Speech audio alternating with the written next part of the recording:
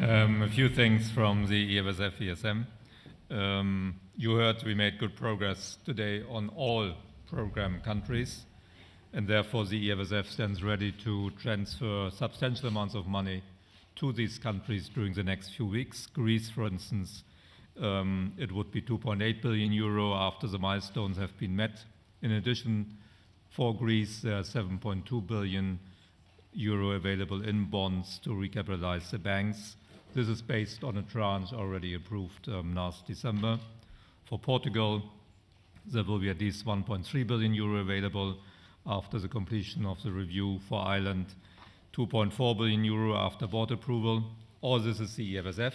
As you know, the EFSF continues to finance these three countries. Cyprus is then the first um, fully fledged program under the ESM. Um, here we have negotiated with the authorities the financial assistance facility agreement. The chairman mentioned the amount up to 9 billion euro will come from the ESM.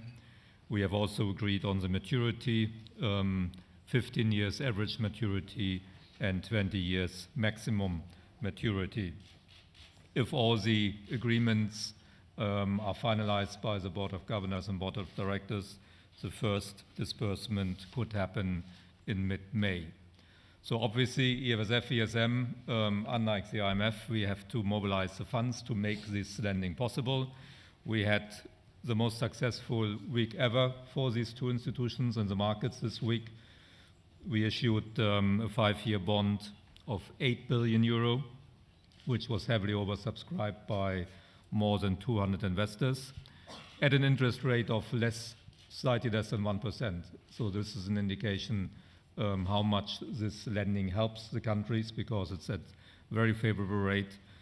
Also this week we, we mobilized another 2 billion in ESM builds. So in this week alone we, we mobilized 10 billion euro, um, which um, I consider a big success. Thank you very much.